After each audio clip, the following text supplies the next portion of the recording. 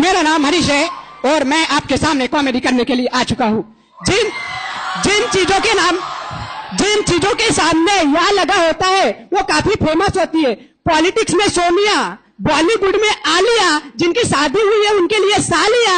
अगर कोई बुरा, अगर कोई अगर कोई बुरा करे तो दो उसे गालियाँ और मेरे लिए बजाओ तो थोड़ी तालियाँ। देखिए दोस्तों, हमारे जो संस्कार है वो काफ़ी बदल चुके हैं। पहले सुनाती थी हमारी नानियाँ, परियों की कहानियाँ, लेकिन जमाना ऐसा बदल चुका है। हम देख रहे हैं शीला की जवानियाँ और मुन्नी की बदनामियाँ।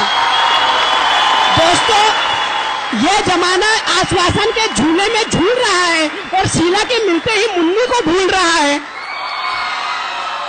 दोस्तों चलो मुन्नी का मिलना तो एक बार का ठीक है शीला का झुलना भी एक बार का ठीक है, लेकिन हमारे रंजीत चाचा है।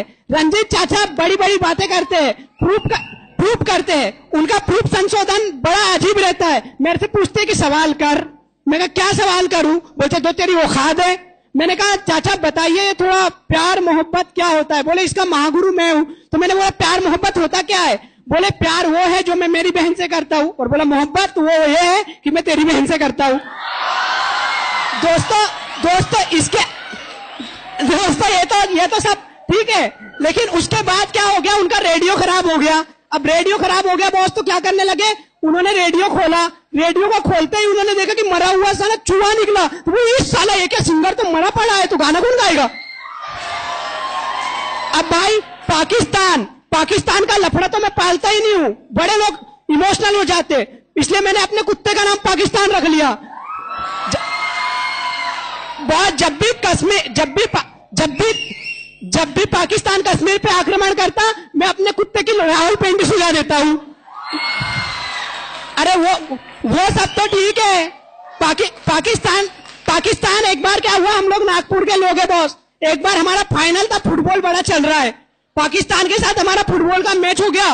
और फुटबॉल के मैच में क्या हुआ? हम लोग फाइनल जीत गए अचानक। मीडिया सारा पूछने लगा कि भाई कैसे जीते कैसे जीते कैसे जीते?